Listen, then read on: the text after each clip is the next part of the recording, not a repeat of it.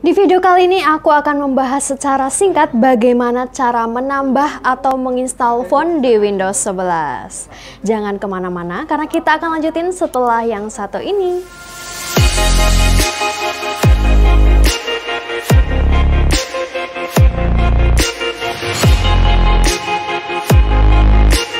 Jika kamu bosan dengan font default bawaan pada Windows 11, nah mungkin inilah saatnya kamu harus mencoba font baru pada Windows 11. Ada dua cara menambahkan font di Windows 11. Pertama, menginstal font dari Microsoft Store. Dan yang kedua, menginstal font dari sumber eksternal seperti Google, website penyedia font, atau dari mana pun itu, yang nantinya font tersebut akan diinstal secara manual.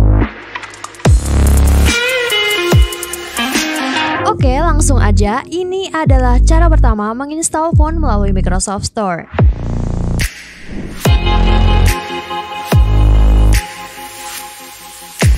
Yang pertama, buka settings di PC kamu.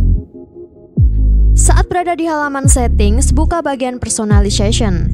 Kemudian, di sini kamu akan melihat berbagai opsi untuk mempersonalisasi PC sesuai preferensi kamu. Klik font di bagian personalization. Di bagian ini kamu akan melihat semua font yang statusnya udah terinstall di PC yang kamu gunakan.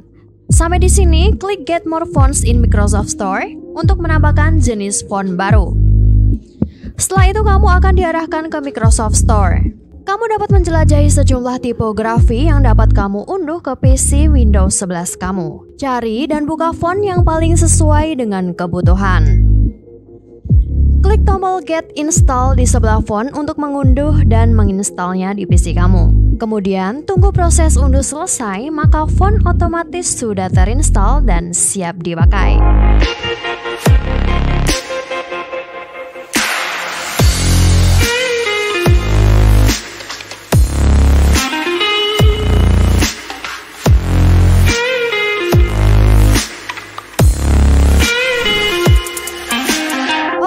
Selanjutnya yaitu dengan mengunduh font di internet dan menginstalnya secara manual.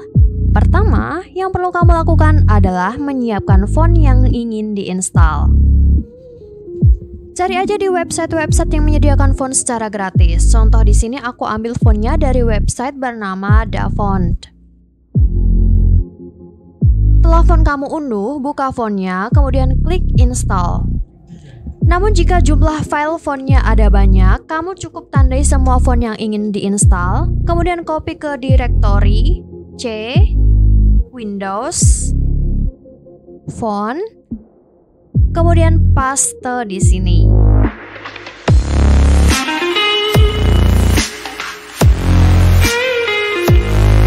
Selesai, semua font yang udah kamu copy akan otomatis terinstall.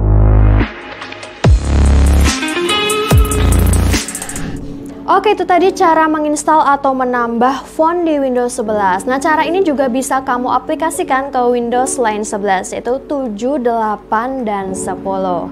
Oke, kalau ada pertanyaan silahkan komen di bawah ini. Jangan lupa like, comment, subscribe. Sampai jumpa di video kamar kos selanjutnya. Bye!